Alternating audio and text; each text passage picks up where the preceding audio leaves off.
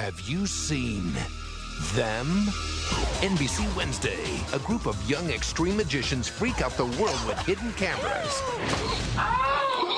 There's only one word for this kind of madness. Totally. Extreme magic.